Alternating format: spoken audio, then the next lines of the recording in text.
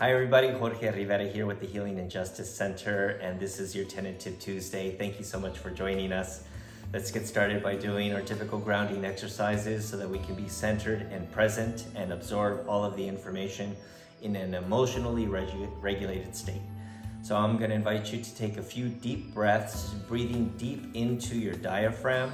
Just imagine that there's a balloon inside your stomach and that you're just inflating the balloon with every deep breath. And then you're going to use your stomach muscles to deflate the balloon with every exhale, okay?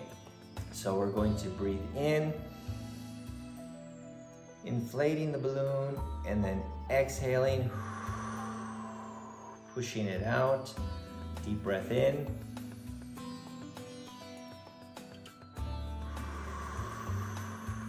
Pushing out. One last one. And then out. Awesome. Thank you so much for joining. Again, we do this so that we can get regulated. We deal with a lot of stressful events as tenants, and a lot of these tips are actually dealing with some stressful events.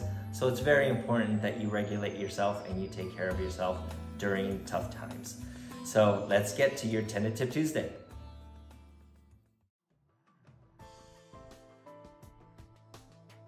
All right, uh, so this is your Tenant Tip Tuesday. This is going to be part two of different types of rental notices. We're going to be dealing with two very specific types of notices, the three-day notices and the 24-hour notices to enter. So three-day notices, let's start with those. Those come in three different kinds. First, you have your three-day notice to pay or quit. Usually, if there is a balance left over on something that you owe, typically for rent, you might be issued a three-day notice to pay or quit. So this is basically notifying you that there's a, a past due balance and that if you do not pay within three days, then they have the legal, the legal permission to get the legal proceedings started, right? The actual eviction. I want to remind you that these are just notices. These are not eviction notices. There's nothing that goes on your record. This is just a notice to let you know that they intend on doing something else should there not be any performance within that period of time.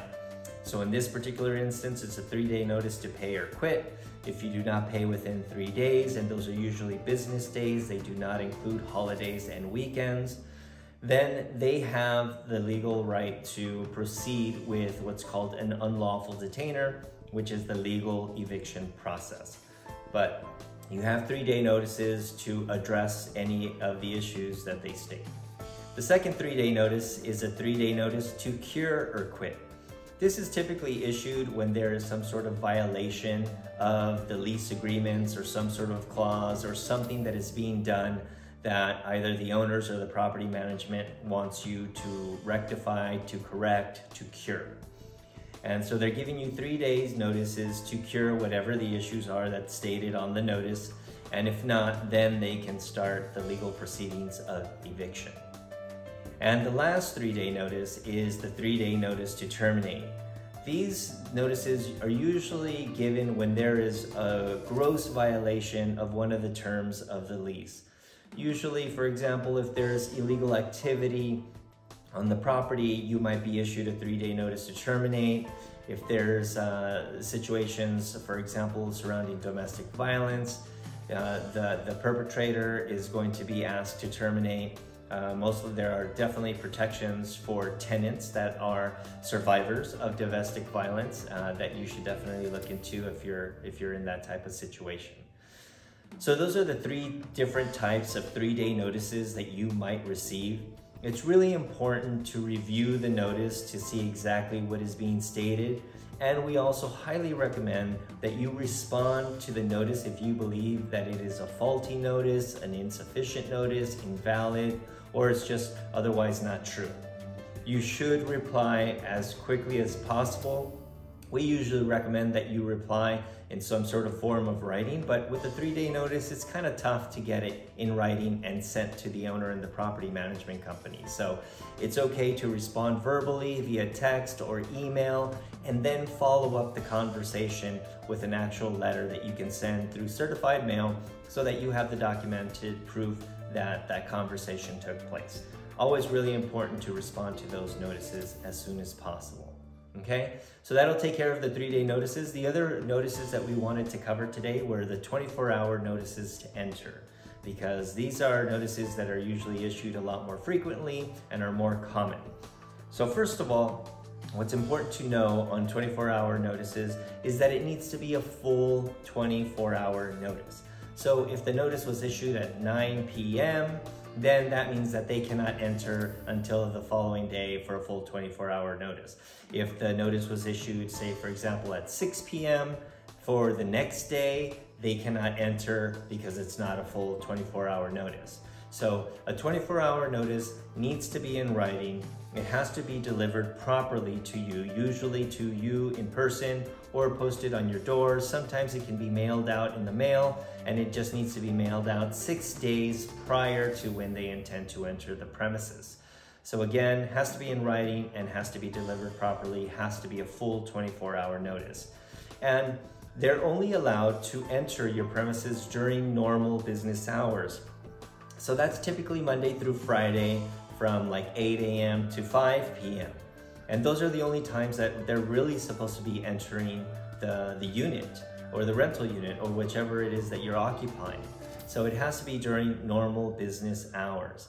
And the owners and the property managers cannot abuse this right of 24 hour notice to enter and they cannot use it to harass you as well. So that's really important to know. Now you can always let the property owners or the property managers in as long as you give them permission. So if they don't give you 24 hour notice but come knocking at your door and you let them in, that's giving them permission, but you do not have to allow them to enter your property if they didn't give you a full 24 hour notice. And you're within your right to do that.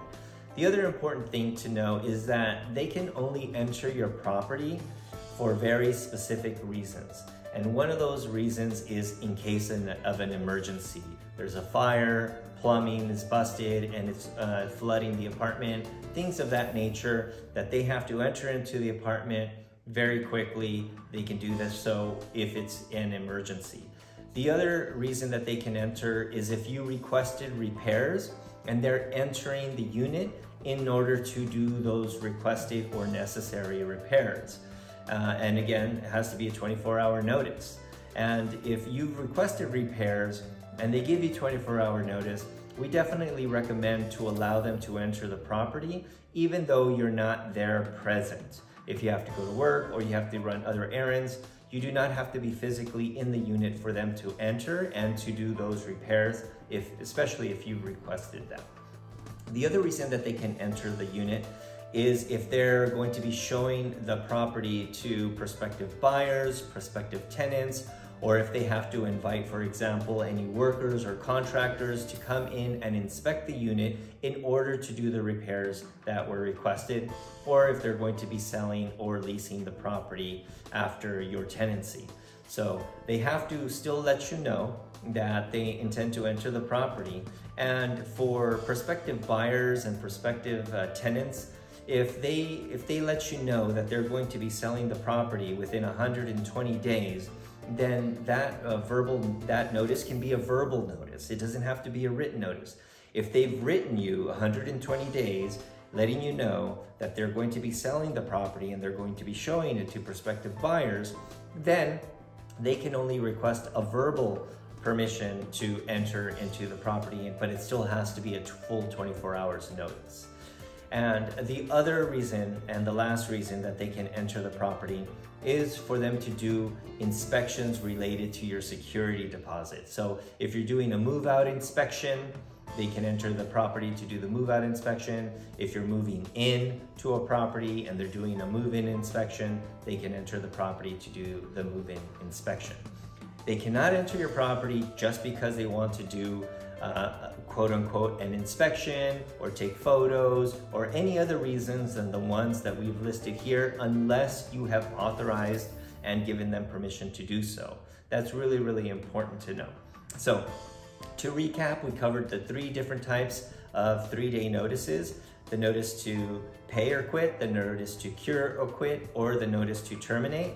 And then we also covered 24 hour notices. They should be in writing, should be a full 24 hour notice, and they can only enter your property for very specific reasons.